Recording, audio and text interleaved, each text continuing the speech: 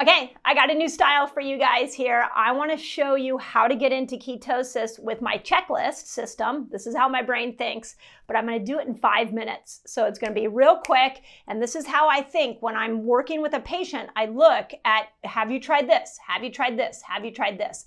That's what I'm going to show you in this video.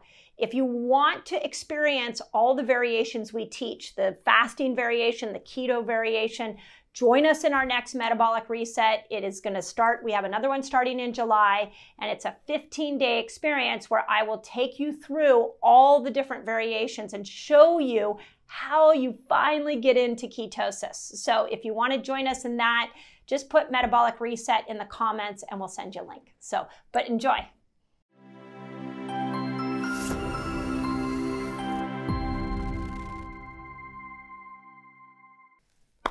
Okay, five minutes. I'm going to give you five of my favorite tips to get you into ketosis. So before, and then I'll give you five bonus tips as well. But before I launch into that, I want to remind you that there are two ways to get into ketosis. There's manipulating your food. We call those macros, changing your food, and there's fasting. So what a lot of people do is they just fast longer and they don't work on the food and then they're trying to figure out why they can't get into ketosis. And some people do the opposite. They bring their carbs down really low and they're not using the principles of fasting and they're not getting into ketosis. So in order to get into ketosis, we've got to look at both of those. What are you eating? How long are you fasting?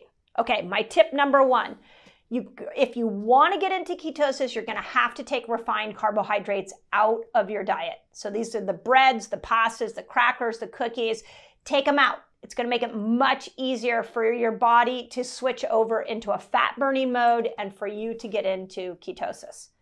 Okay, second thing, You've taken those out. Now what I want you to do is add in more fat. And I would do it in this order. So if you're new to uh, understanding the ketogenic diet, do it in this exact order that I'm telling you. So increase your good fat, more nut butters, more ghee, more avocados, um, things like that. Well, um, oils, Andreas seed oils, those kind of MCT oil, all of that is going to help to stabilize your blood sugar and allow your liver to understand that it needs to be a fat burner now. Okay, number three, once you've done those first two steps, you're gonna start tracking your net carbs. And I like to start people at 50 net carbs. So we recommend something called Carb Manager, where you're gonna track and make sure that you are not going over 50 net carbs. Net carbs is you're subtracting total carbs for, and you're taking the fiber out, and that's giving the net carbs. Okay? So that's step number three. Okay, now you've done that. The next step is you're ready to start to look at your protein. So, one of the biggest problems with the ketogenic diet is that everybody forgets that this is not a high protein diet. This is a moderate protein diet. So, the fourth step I want you to do is you're going to keep your protein under 50 grams. Okay? And clean protein. The organic, antibiotic free protein is the best. Okay, and then step number five is you're gonna stop eating toxins. So there's something called dirty keto, and it is not how you want to get into ketosis. It is where people are bringing their carbs down, just like they went low fat years ago, but they're eating chemical filled foods, and that will prevent you long term from getting into ketosis. So the fifth step of getting into ketosis is you got to clean up your food. You got to make sure that you're not eating processed oils, the bad oils like canola oil, vegetable oil, soybean oil, partially hydrogenated oils. You got to make sure you're not doing fructose. You got to make sure you're not doing NutraSweet. NutraSweet makes you insulin resistant. So get the chemicals out is my fifth step. Okay, here are my five bonus tips.